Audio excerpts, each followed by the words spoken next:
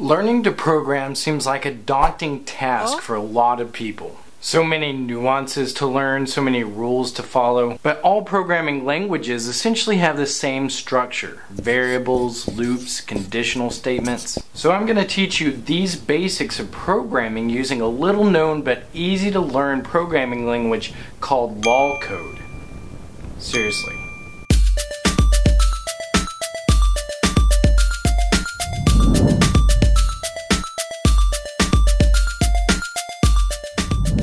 Now let me warn you, this tutorial is intended for the absolute noob. So current programmers, stop watching. Now. Okay newbie doodles, it's just you and me now. Let's do this. What is programming?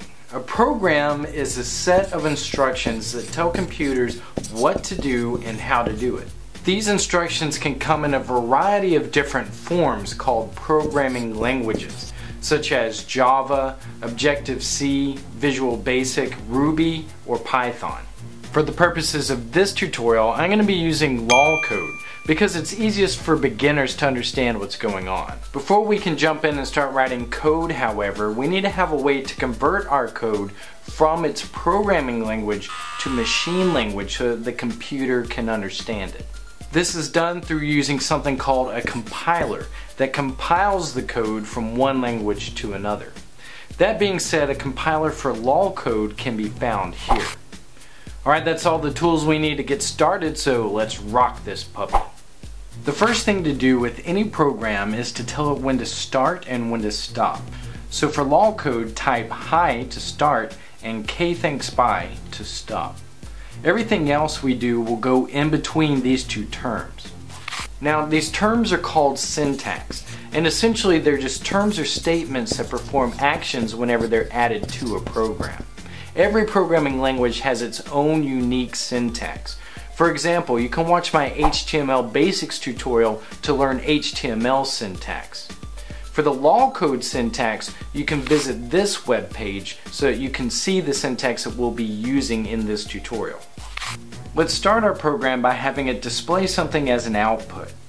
The term to output something from the program is called visible. So type that in followed by whatever you want to output or make visible. In this case, let's output today is Caturday.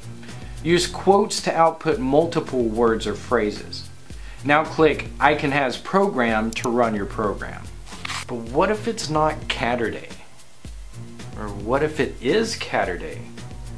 That's what we'll write our program to do, to tell us whether it's Caturday or not. Currently our program is telling us that it's Caturday whether it actually is or not. It'd be nice if there was a way to vary the output to be whatever it needs to be. This is one of the most important features of programming that you can learn. Variables are kind of like storage boxes where the contents can vary depending on what the program needs it to be. Computers read code in a linear fashion unless you tell it to do otherwise. So what we want it to read first should be at the top and we want our variable to be before our visible statement. To make a variable in LOL code, type i has a and then the name of your variable, such as day. And now we can tell it what we want the variable to equal, or what we want the contents of the box to be. So I has a day, it's today is Caturday. To show that this works, replace our statement with just the day variable and then run your program. But the day isn't always going to be Caturday. So what we need to do is ask the user of the program for input to tell us what day it is. So basically what we need is user input. To ask for user input in LOL code, just type gimme.